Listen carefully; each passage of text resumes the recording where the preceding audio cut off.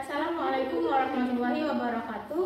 Perkenalkan nama saya Nurul Iza Rahmani dengan NIM 201020751. Di sini saya akan menampilkan video pembelajaran menggunakan metode problem based learning. Dan di sini saya berperan sebagai guru dan teman-teman saya sebagai siswa. Selamat menyaksikan. Assalamualaikum warahmatullahi wabarakatuh. Waalaikumsalam warahmatullahi wabarakatuh. Selamat pagi anak-anak. Pagi Bu. Gimana kabarnya hari ini? Alhamdulillah luar biasa. Allahu Akbar. Oke, sebelum memulai proses pembelajaran ini, ada baiknya kita berdoa dulu. Berdoa dimulai.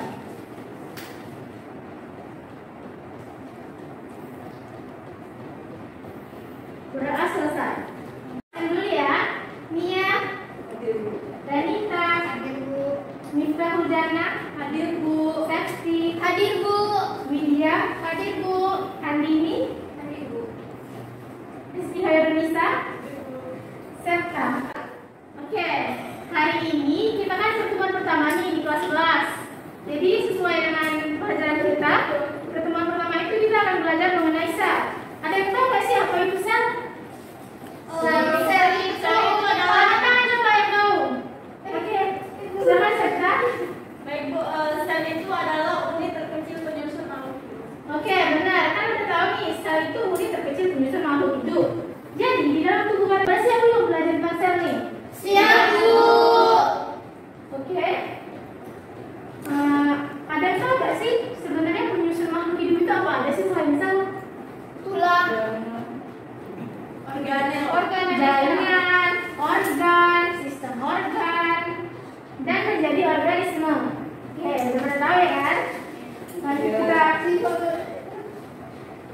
Baiklah, tujuan pembelajaran kita pada hari ini ialah agar kalian bisa lebih memahami apa itu arti sel dan kalian bisa mengetahui apa sih organel-organel sel dan juga kalian bisa me- menjelaskan lagi fungsi sel, organel sel dan juga bisa lebih mengetahui apa perbedaan sel tumbuhan dan sel hewan.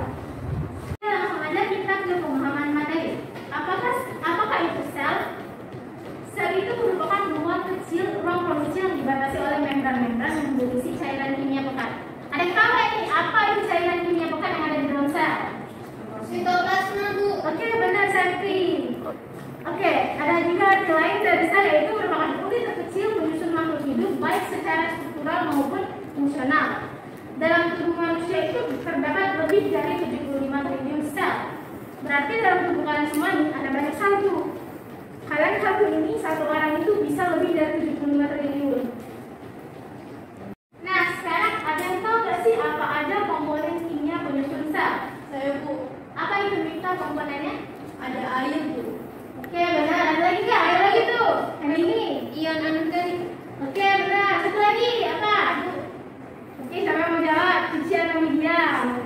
Oke, Cici. Dia molekul Bu. Oke, udah tahu nih. Sekarang mau jelasin kalau komponen kimia penyusun sel itu dalam satu sel ada sekitar 70% air dalam total massa sel. Kalau untuk ion anorganik itu hanya satu persen. Ada Na+, ada K+, dan lain sebagainya. Sedangkan biomolekul ada karbohidrat, lipid, protein, dan asam nukleat. Oke, kita masuk ke macam-macam sel. Ada dua, yaitu eukariotik dan prokariotik. Sebelumnya nih kita ibu mau nanya nih, apa sih bedanya eukariotik sama prokariotik? Ada yang udah baca belum di buku? Saya Bu. Apa itu Miftah? Kalau ukuran dari eukariotik itu lebih kecil dibandingkan dengan sel prokariotik. Oke, benar. Tapi selebihnya lagi ada dua lagi perbedaan dari eukariotik dan prokariotik. Sebenarnya ada banyak, tapi ibu sebutnya tiga, yaitu ada ukuran sel prokariotik itu lebih kecil dibandingkan sel eukariotik dan prokariotik itu tidak memiliki membran ganda serta prokariotik itu tidak memiliki inti. Sampai di sini paham semuanya? Paham. Oke. Nah, sekarang ibu punya gambar telur ayam. Perhatikan gambar telur ayam di depan. Apa sih fung- fungsi cangkang telur ayam kalau kita mengibaratkan telur ayam ini sebagai sel? Bagi dinding selnya Bu. Oke, pelindung, benar. Terus misalkan yang di tengah itu yang warna kuning itu sebagai apa sih kalau di dalam sel? Ayo, ada yang tahu? Sel. Ya, benar, sel. Jadi di sini kita mengibaratkan sangkang ayam ini sebagai inti sel dan kulit telur ini sebagai inti sel. Terus nama cairan yang ada putih-putih di dekat kulit telur itu apa namanya? Sitoplasma. Oke, sampai sini udah pada paham kan? Cara membayangkan bagaimana bentuk sel dan apa saja organ-organ sel.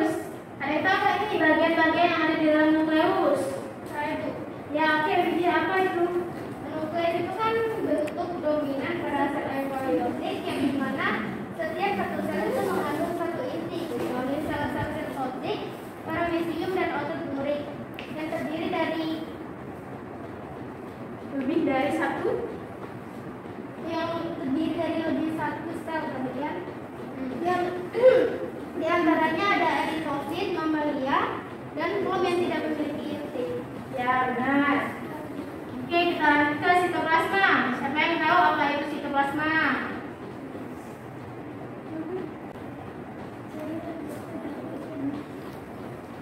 Oke sitoplasma itu adalah terdiri dari cairan. Jadi yang kita lihat tadi di cangkang dulu tadi, yang bagian putihnya itu disebut sitoplasma.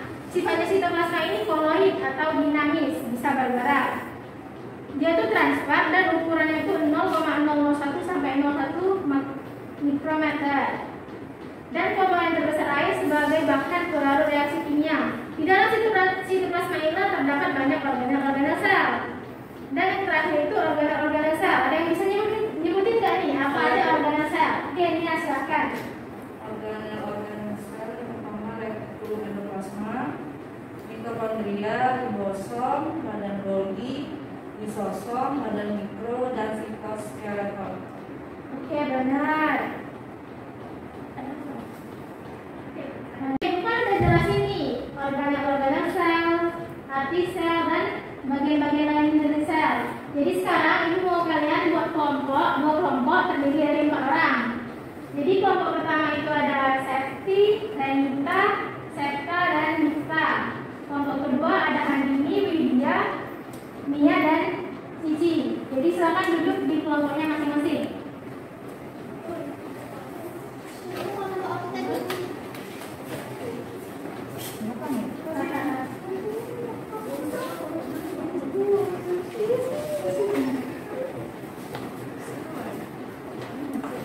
Aku pindah jadi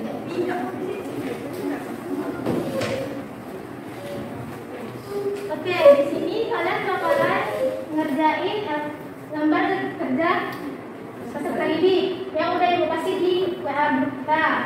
Jadi nanti kalian ngerjain apa sih fungsinya retikulum endoplasma dan organel-organel sel lainnya serta mencari apa saja teori-teori sel menurut para ilmuwan. Jadi ibu kasih kalian waktu untuk mengerjakan tugasnya. itu.